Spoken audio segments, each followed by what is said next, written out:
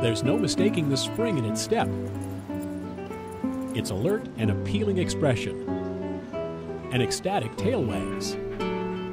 It must be a spaniel. But which one? The American Cocker Spaniel has a splintered spaniel past. Among the first was the Springer Spaniel, then the Field Spaniel, then the shorter, sassier English Cocker Spaniel. The smaller chased woodcock and thus earned the name Cocker Spaniel. The cocker came to America from England in the 1880s. It hunted birds and even rabbits, one of the only non hound breeds to chase fur instead of feathers.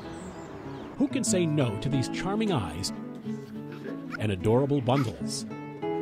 When it comes to being popular, the Cocker Spaniel has been off the charts.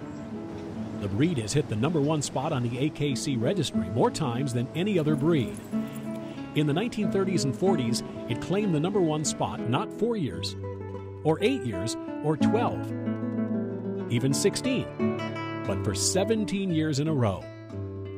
Sounds exciting, but winning popularity tests can backfire on a breed, especially when people try too hard to keep up with the demand.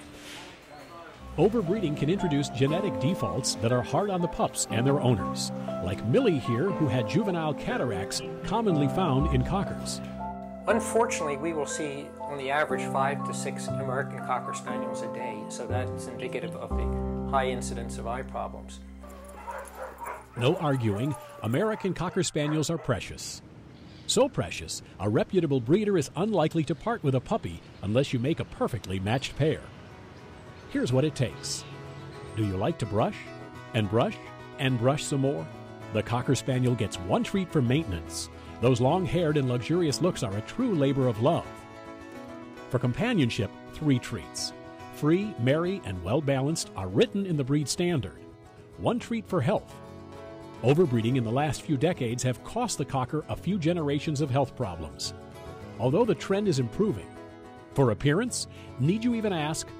Their compact size and cheering expressions make four treats a given, and four treats for energy.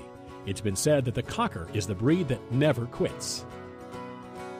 The American Cocker Spaniel's inherent reliability and unbridled spirit make it a breed apart from all others.